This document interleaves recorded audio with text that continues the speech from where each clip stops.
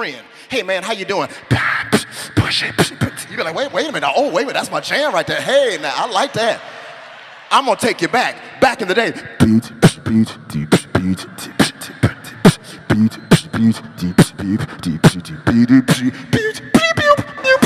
See, y'all not ready. Y'all not ready.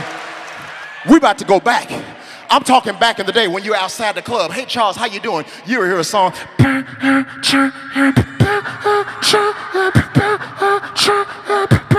Know what? I want to see President Barack Obama just go off one day at a press conference. There's a lot of things that I cannot say at the White House, but I'm going to say it right here, right now.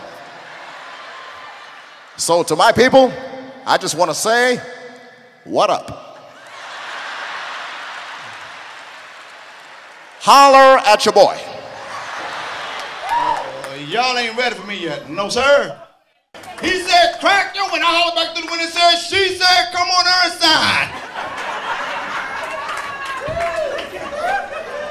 Talking come here? I said, look, you better tell him something. Look, You better tell him something. Look.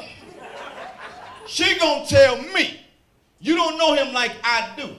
So when you get on my side of the car, when I get off the car, you go ahead and you pull on off and I'ma call you later. I'm like, that's what I plan on doing. tell me something I don't know. Let me tell y'all something about God.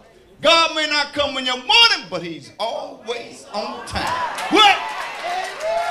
Yes, sir. Cause when she got out that car, he hit her so hard. She looked at me, I looked back and said, Hallelujah, thank you, Jesus. That could have been me.